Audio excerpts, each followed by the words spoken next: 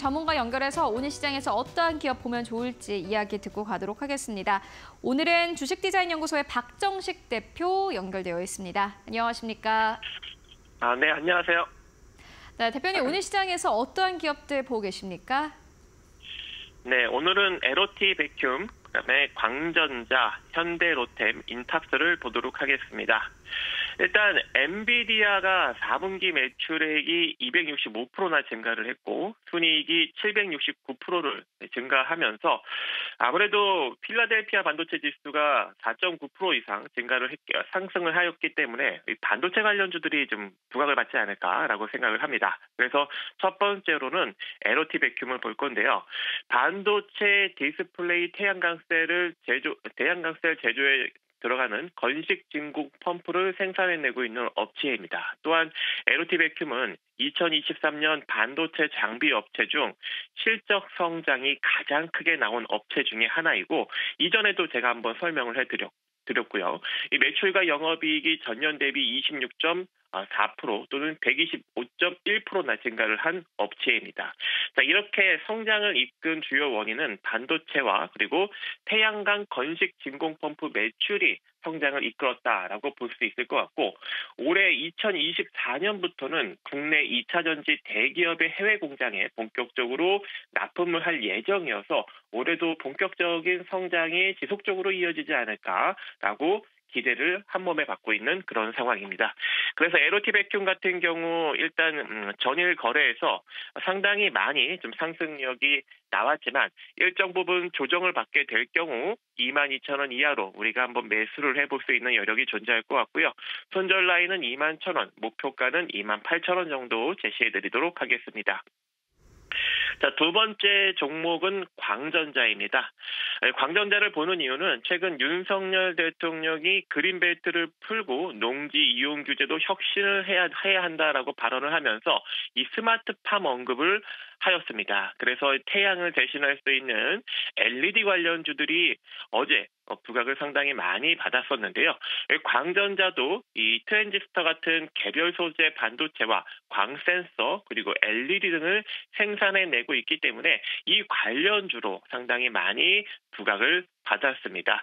하지만 수급이 꺾이지 않고 있는 그런 상황이기 때문에 일정 부분 좀 조정을 받게 된다면 2,560원 이하로 분할 매수 가능할 것 같고 손절 라인은 2,450원, 목표가는 3,100원 제시해 드리도록 하겠습니다. 자, 세 번째 종목은 현대 로템입니다. 현대로템 같은 경우에는 폴란드와 20조 원의 20조 원 규모의 무기 거래 수주를 진행을 하면서 이 K2 전차 1000대의 납품 계약을 따냈음에도 불구하고 쉽사리 주가가 부각을 받지 못했던 전력이 있었죠. 하지만 이번에 어, 이 30조 원대 폴란드 무기 수출 성사를 전제 조건으로 수은법 개정안이 국회를 통과를 하면서 이 법정 자본금 한도가 현행 15조에서 25조 원으로 늘리는 수출의 은행법 개정안이 21일 날 통과가 되었습니다. 그로 인해서 이 방산 관련 주들이 어제 강력한 상승력이 나왔는데 마찬가지로 외국인과 기관의 수급이 강력하게 유입이 되고 있는 상황이기 때문에 추가적인 상승력이 가능하지 않을까라고 기대를 하고 있습니다. 그래서 혹여 조정을 받게 될 경우 3만 어, 2천 원 이하로 한번 관심을 기울여 보는 것도 괜찮지 않을까라고 생각을 하고 있고 마지막 종목은 인탑스입니다.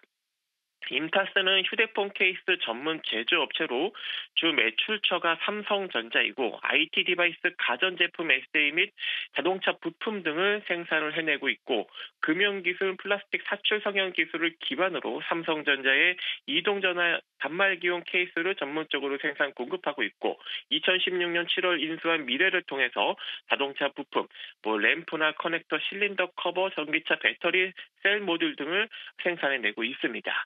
업계에서는 인탑스가 삼성전자의 웨이러블 착용, 착용형 로봇 봇핏을 봇핏의 시제품을 생산해냈다고 보고 있기 때문에 이 삼성전자 로봇 관련주로 최근에 부각을 받았던 전력도 일정 부분 있는데요. 다시 한번 우리가 바라봐야 되는 이유가 최근 들어서 삼성전자가 AI 로봇 관련 전문가를 대규모로 모집을 하고 지난해 중소기업 레인보우 로보틱스 지분을 사들이면서 생성형 AI가 탑재된 로봇 볼리를 CES에서 깜짝 공개를 하였습니다. 또한 LG전자도 최근 클로이 로봇을 앞세워서 호텔 서비스 분야에서 두각을 나타내고 있고 CES에서는 AI 로봇 AI 에이전트를 공개해서 주목을 받고 있고 이 AI 에이전트는 클로이랑 달리 이족 보행이 가능한 두 다리가 달린 그런 로봇이라서 차별화가 일정 부분 되었습니다. 자 이렇듯 삼성전자랑 LG전자가 다시금 로봇 대결을 펼치고 있는 그런 상황이기 때문에 로봇 관련주들도 다시 한번 부각을 받지 않을까 생각하고 있는 상황입니다. 네, 알겠습니다. 오늘도 말씀 고맙습니다. 네 감사합니다.